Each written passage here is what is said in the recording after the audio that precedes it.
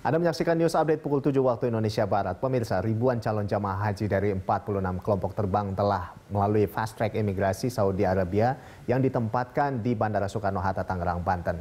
Kemudahan pengurusan dokumen keimigrasian itu guna mengurangi antrean panjang calon jamaah haji di Bandara King Abdul Aziz, Saudi Arabia.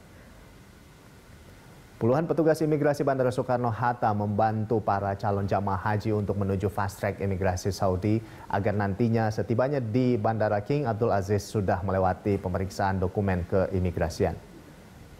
Embarkasi Bandara Soekarno-Hatta melayani empat embarkasi keberangkatan yang terdiri dari 631 kelompok terbang atau kloter. Para calon jamaah haji dari empat embarkasi yakni DKI Jakarta, Jawa Barat, Banten, dan Lampung mendapat kemudahan pengurusan dokumen langsung dari emigrasi Saudi. Telah diberangkatkan sampai dengan saat ini 18.503 jemaah dari 42 dari 46 kloter, 36 kloter dari Bekasi dan sisanya dari Pondok Gede. Itu memang memberikan kemudahan bagi calon jemaah haji yang ingin berangkat ke Mekah.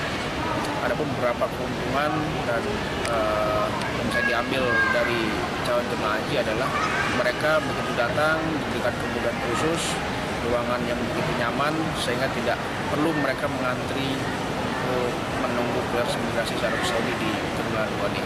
Mereka disediakan tempat duduk, mereka disediakan untuk toilet ataupun tempat ibadah sebelum